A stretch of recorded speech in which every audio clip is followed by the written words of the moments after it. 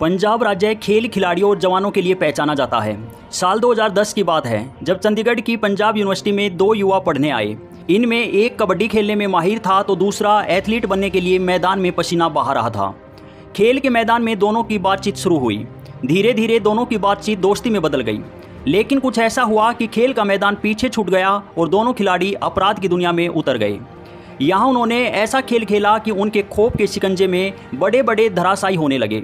आज बिज़नेस से लेकर बॉलीवुड तक में उनके डर का साम्राज्य फैला हुआ है। यह सारी बात हो रही है गैंगस्टर लॉरेंस बिश्नोई और कनाडा में रह रहे उसके दोस्त सतविंदर सिंह उर्फ़ गोल्डी बराड की 12 फरवरी उन्नीस सौ बानवे में पंजाब के फाजिलका ज़िले की अबोहर तहसील में लॉरेंस का जन्म हुआ था।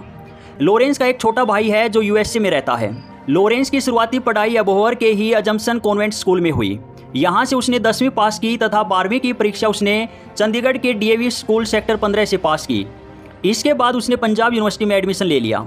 लॉरेंस ने साल 2009 में छात्र राजनीति में हाथ आजमाने शुरू किए और student organisation of Punjab university यानी सोपू को ज्वाइन कर लिया।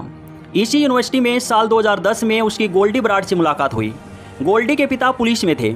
यूनिवर्सिटी में इवनिंग क्लासेज में पढ़ाई कर रहा था। गोल्डी कबड्डी का बेहतरीन खिलाड़ी था। वह हर रोज शाम को खेल के मैदान में कबड्डी की प्रैक्टिस करता था। इसी मैदान में लॉरेंस एथलीट बनने का सपना देख रहा था। लॉरेंस से दोस्ती बढ़ने के बाद गोल्डी ने इवनिंग क्लासेज की बजाय नॉर्मल क्लासेज में एडमिशन ले लिया। इसी बीच राजनीति में हाथ आजमा रहे लॉरेंस के विरोधी union Punjab university student association, यानी पूसू से जुड़े लोगों से उनके झगड़े बढ़ने लगे। लॉरेंस के खिलाफ पहली एफआईआर चंडीगढ़ के सेक्टर 11 की थाने में दर्ज हुई। उस पर पूसू के प्रेसिडेंट उदय पर फायरिंग करने के आरोप थे। इस मामले में लॉरेंस की गिरफ्तारी हुई और उसे 45 दिन चंडीगढ़ जेल में रहना पड़ा। जेल से बाहर निकलने के बाद लॉरेंस ने गोल्डी ब्राड के साथ ग्रुप बनाया।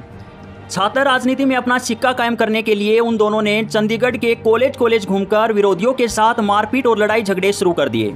देखते ही देखते लॉरेंस के खिलाफ तेरह आपराधिक मामले दर्ज हो गए और वह शहर में चर्चा का विषय बन गया। दो से तीन केस में गोल्डी का भी नाम सामने आया। लेकिन उसके पिता पुलिस में थे तो उन्होंने उसके नाम मुकदमों से हटवा दिए। गोल्डी के पिता ने उसे झगड़ों से दूर रखने के लिए पढ़ाई के बहाने कनाडा भेज दिया।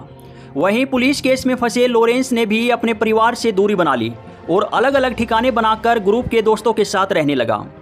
आज लॉरेंस बिश्नोई जेल में है और गोल्डी बराड कनाडा से अपनी गैंग को चला रहा है। दोस्तों, लॉरेंस बिश्नोई और गोल्डी बराड की दोस्ती के बारे में आपकी क्या राय है, कमेंट करके ज़रूर बताएँ।